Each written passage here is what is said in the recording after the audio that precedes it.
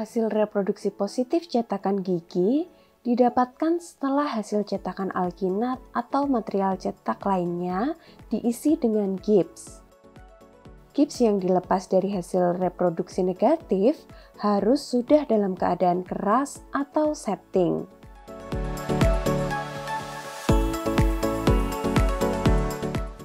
Keadaan setting merupakan keadaan di mana material sudah set atau mengeras dari kondisi plastis atau cairan. Sedangkan waktu yang diperlukan untuk mencapai keadaan setting disebut dengan waktu setting.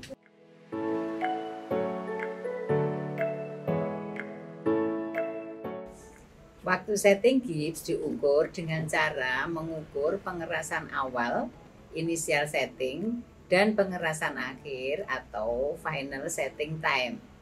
Pengerasan awal ini merupakan interval waktu antara air dan serbuk gips yang dicampur sampai adonan tidak dapat lagi dituang ke dalam cetakan atau ke hasil reproduksi negatif. Secara klinis, pengerasan awal ditandai dengan hilangnya permukaan yang mengkilap dan jika dipegang terasa hangat. Sedangkan pengerasan akhir dicapai ketika material sudah keras. Pada saat ini reaksi komplit dan dingin jika dipegang.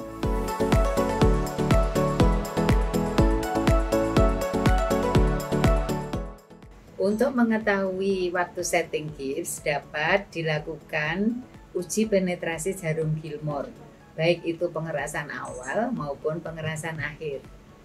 Bahan utama yang dibutuhkan adalah serbuk gips dan aquades.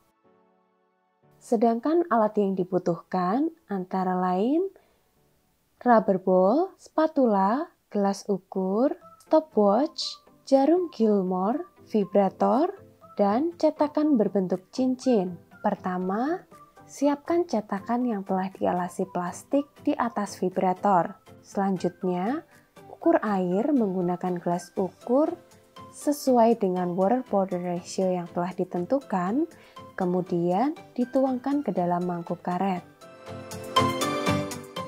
Serbuk gips dimasukkan sedikit demi sedikit ke dalam mangkuk karet yang telah berisi air dan biarkan mengendap selama 30 detik untuk menghilangkan gelembung udara. Jangan lupa untuk menghidupkan stopwatch saat gips mulai dicampur dengan air. Aduk campuran gips sampai homogen menggunakan spatula dengan gerakan memutar selama 1 menit per 120 putaran dan bersamaan dengan itu rubber ball diputar perlahan-lahan.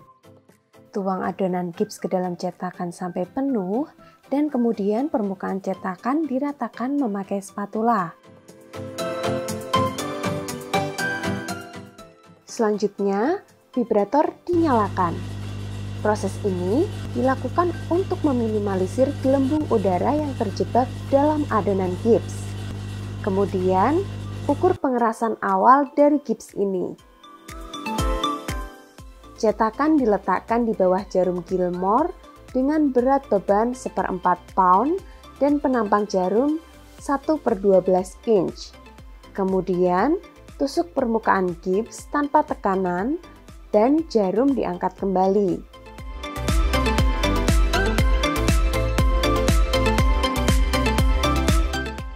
Ujung jarum dibersihkan dengan tisu dan ulangi penusukan setiap 30 detik sambil cetakan digerakkan memutar untuk mendapatkan daerah tusukan yang berbeda.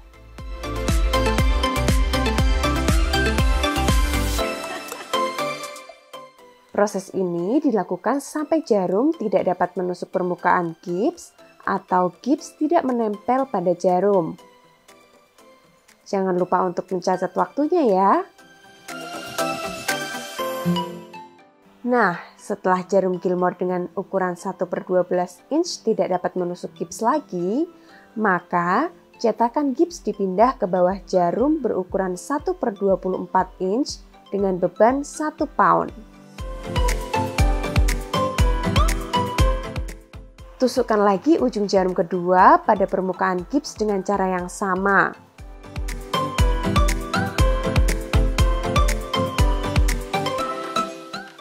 Jika jarum sudah tidak dapat menusuk permukaan lagi, maka catat waktunya sebagai waktu pengerasan akhir ya.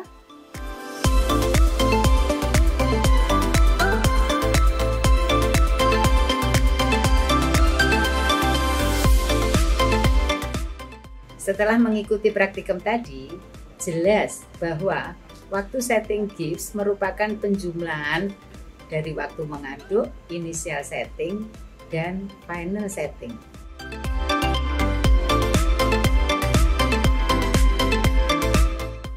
Ada banyak hal yang dapat mempengaruhi waktu setting gips. Contohnya, proses pengadukan, suhu, kelembapan, penyimpanan, dan masih banyak lagi hal-hal yang bisa mempengaruhi terhadap waktu setting gips. Setelah melewati fase pengerasan akhir, gips akhirnya dapat dilepas dari hasil reproduksi negatif atau cetakan. Waktu setting juga biasanya bervariasi tergantung jenis gips yang digunakan. Nah, bagaimana dengan gips yang kamu gunakan?